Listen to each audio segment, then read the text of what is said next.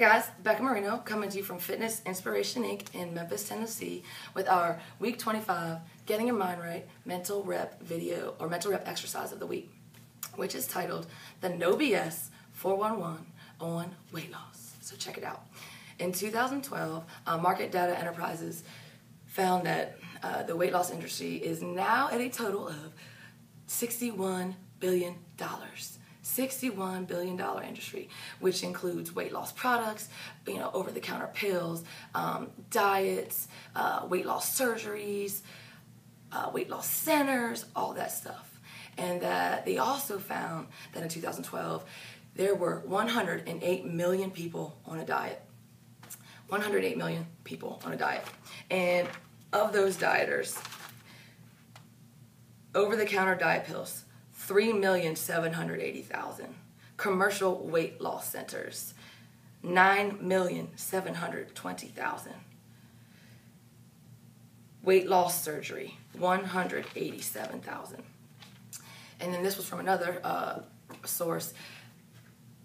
Of that $61 billion industry, 85% of the consumers buying these products and, and services are women. 85% ladies. Whew that's just the financial information and data. You know, we can't quantify the emotional cost and price that comes with a weight loss uh, service or a weight loss product that's bought over the counter. You know, there is so much emotional energy that it, that goes into that, and we can't put that on paper. But we know that it is just as intense and off the charts as the financial aspect. Why do most people, you know, turn to a weight loss surgery? Why would somebody consider an over-the-counter diet pill that puts them at risk? Why would someone consider taking um, and doing an extreme diet? Taking a supplement that is going to possibly cause a heart attack. Why would someone consider that if they were happy with where they were? Maybe I can say that in the nine years that I've been in the fitness um, field, a lot of times, I mean, I see people work hard. They try to make changes. They are doing everything they know how to do and that they can do to achieve weight loss. You know, they're making better food choices, they're exercising more, doing everything that they can. And they get on that scale and it's not changing. Or one day it's up and one day it's down. And I can understand why we get to a point where we're like, seriously? I mean, I'm done all this hard work, all this energy and time doing it right, and no results. Because the result that they're looking for, weight loss, is not what they are getting. Right? So maybe people turn to these things because there's too much work involved with um, getting healthier. Maybe they're doing it because they believe that what society tells us, and that is when we're at a, we all have this perfect weight, and that this perfect weight means happiness and and the best health. Point being, those things don't usually lead to positive feel good emotion. So there's definitely a cost when it comes to the weight loss industry as well on an emotional level. Maybe it's time, you know, that we rethink shifting our focus on weight loss as a primary barometer, you know, when we're measuring our success in a program or when we're setting a goal, um, and replace it with more reliable and valid barometers when it comes to defining our health or defining and measuring our success um, in our program or, you know, setting goals. So I invite you all you know, to consider. Letting go of weight loss, letting go of that whole concept and idea, and focusing your financial investments, your emotional investments on more valid and reliable um, barometers to measure your program success and define goals. And what do I mean by uh, more reliable? Blood work results. Your energy. Is your energy improving? Is your mood. How's your mood?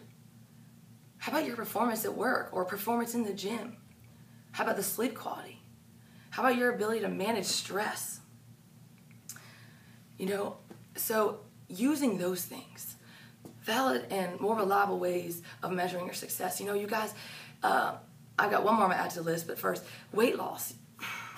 I really truly believe it is a very there's a very simple solution to um, not seeing a continual increase in the weight loss injury industry when it comes to all these quick fixes and over the counter drugs and all these things. And I believe that simple solution is letting go of the idea of a primary focus on weight loss. That means doctors stop telling you to wait, lose weight, trainers stop saying, well, lose weight, and you stop telling yourself to lose weight. Because that number on that scale is gonna fluctuate day to day. It, it, could be because of salt. It could be because of the weather. If there's a storm and the way the impact on the tissues, our body is 75% water hormones. I've seen research that shows that ibuprofen and steroids um, can also uh, um, mess with weight. So there are so many things that could fluctuate that number we see on the scale. So when we're out there and you know we're working our butts off and we're making these changes, and then we step on the scale because our focus is weight loss. It's weight loss. It's all about weight loss, or else it just doesn't matter.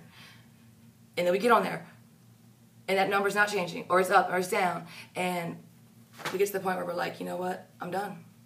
Weight loss industry. I'm gonna try it over the counter, or I'm gonna go on the computer and look up an extreme diet because it's gonna be faster, which puts us at risk. Letting go of the whole idea of weight loss. These these barometers, they're not gonna fluctuate because of the weather. We can't step on a scale to measure our blood work every day there's not going to be this hyper focus and all that energy and that emotional energy that is invested in that weight loss focus program and you know measure is going to be freed freed that's energy for you to have and to just try to make those consistent changes and to trust that because you are improving making small improvements every day over a six month period of time, you're going to see changes. Your body is going to respond. All right? Forget the scale. Now, I totally get wanting to see physical changes and wanting to sort of measure that. So, rather than weight loss, body composition improvement. Body composition improvement, guys.